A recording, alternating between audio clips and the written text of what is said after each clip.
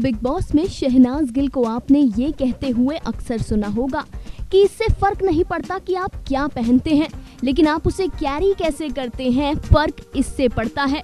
Well Shehnaaz Gill हर लिबास को, हर रंग को बेहद खूबसूरती से कैरी करती हैं। ये तो साबित हो गया है। दरअसल सामने आया है डबू रत्नानी का एक और फोटोशूट जिसमें शहनाज की एक्सप्रेशंस शहनाज की बॉडी लैंग्वेज उफ, तौबा मेकअप हेयर ड्रेस इन सब पर तो बाद में ध्यान जाता है। लेकिन पहले शहनाज गिल के चेहरे पर ही जाकर नज़रें अटक जाती हैं। वेल शहनाज का ये फोटोशूट देखकर हमें तो वो गाना याद आ गया। तेरे चेहरे से नज़र नहीं हटती। क्या आपकी हट रही है शहनाज के चेहरे से नज़र? आपको कैसा लगा शहनाज का ये फोटोशूट कमेंट करके हमें ज़रूर बताइएगा। Final cot news desk